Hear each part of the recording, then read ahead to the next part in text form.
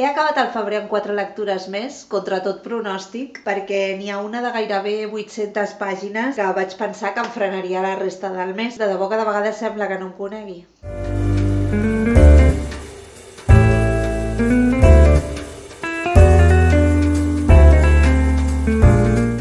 Segueixo entossudida amb el propòsit que em vaig marcar de llegir només coses que m'agradin i coses que em vinguin de gust i que no em treguin les ganes de llegir. Han tornat a obrir la biblioteca del meu barri eh, després de no sé quants mesos de reforma i l'endemà de l'obertura doncs eh, m'hi vaig deixar caure no fos cas que els llibres em trobessin a faltar. Per primer cop vaig treure el cap a la secció de literatura fantàstica, que ves per on resulta que aquí a la biblioteca doncs, tenen un fons bastant important. I vaig triar com a primera lectura del mes la primera part d'una saga eh, d'una autora eh, que tenia moltes ganes de provar, que és la Robin Hobb.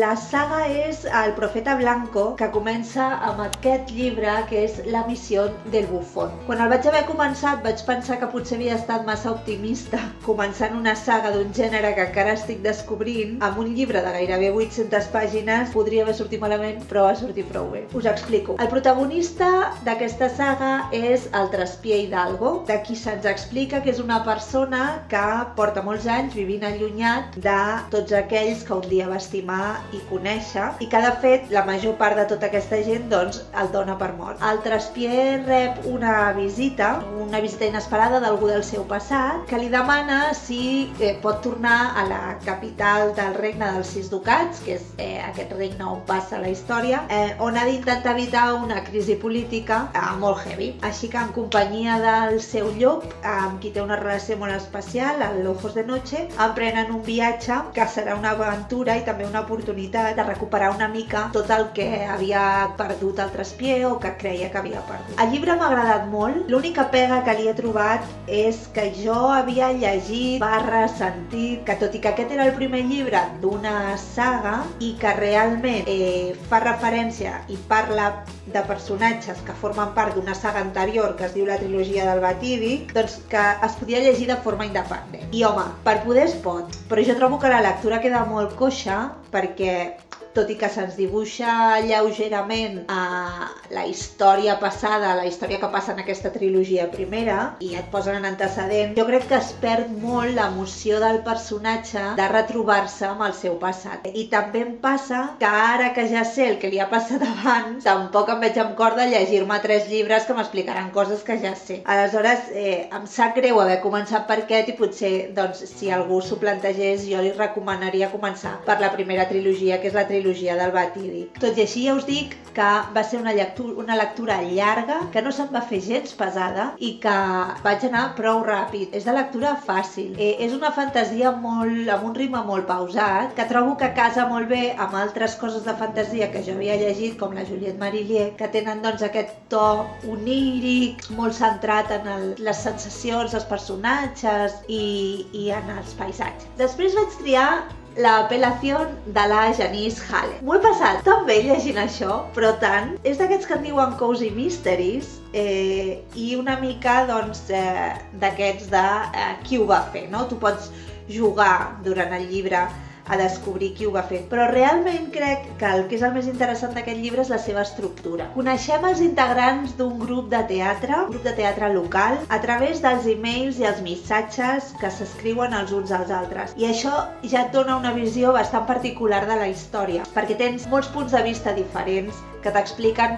moltes parts diferents de la història. El tema és que després de que s'hagi produït un assassinat i que s'hagi enviat a la presó el presumpte culpable, L'advocat encarregat del cas demana a un parell d'estudiants de dret que l'ajudin a preparar l'apel·lació del cas per veure si realment aconsegueixen esclarir qui és el veritable culpable de uh, aquest assassinat que es produeix. La lectura d'aquesta novel·la és super àgil eh, perquè aquesta forma d'e-mails i missatges fa que vagis molt ràpid. A més, m'ha resultat molt divertit veure eh, les diferents interpretacions d'un mateix fet depenent del personatge que t'ho expliqui, no? O, o depenent del personatge que ho estigui explicant a un altre. I trobo, a més, que està molt ben ambientat i, i que la creació dels personatges és molt bona, perquè al final um, això de que no hi hagi diàleg, sinó que tot sigui uh, coses que s'escriuen els uns als altres, també et marca una mica la manera que té cada personatge d'escriure i la manera que té cada personatge de dirigir-se a segons quin personatge, no? Aleshores, també fa que vegis que el que eh, un personatge li explica a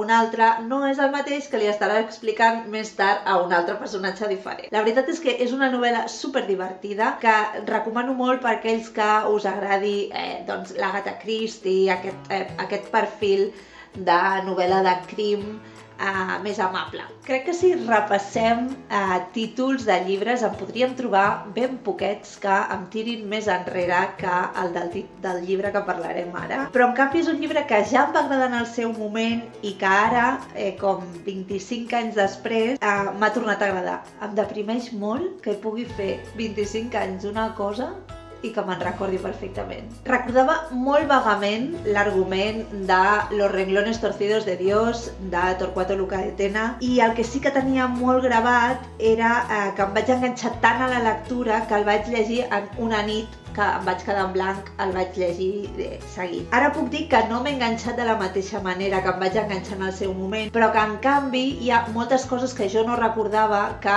m'han frapat. I tampoc l'he trobat tan angoixant com el vaig trobar en el seu moment perquè hi ha altres coses que crec que m'afecten més ara doncs que eh, òbviament, he crescut. L'argument de Los renglones torcidos de Dios ens presenta a l'Alice Gould, que és una dona que ingressa en un sanatori mental en teoria per haver intentat assassinar el seu marit en repetides ocasions. Ella defensa i li explica a qui la vulgui escoltar que ha estat ingressada contra la seva voluntat i diu ser una detectiu que intenta esclarir un assassinat. Al final, la veritat i la mentida, la fantasia i la realitat s'acaben barrejant molt en aquesta història de la mà d'una protagonista que és molt intel·ligent i que està super ben feta. Com us deia, la novel·la m'ha agradat molt eh, perquè tens aquesta sensació de que la narració no és fiable, que el que estàs veient no és veritat, que el que expliquen és plausible però que no t'acaba d'encaixar,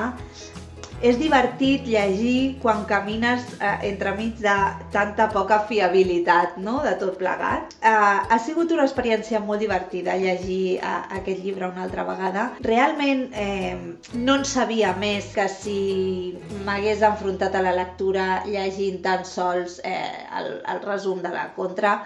M'ha agradat molt, però sobretot m'ha agradat moltíssim veure aquest creixement, aquesta diferència meva personal de quan el vaig llegir la primera vegada a, a, a quan l'he llegit ara.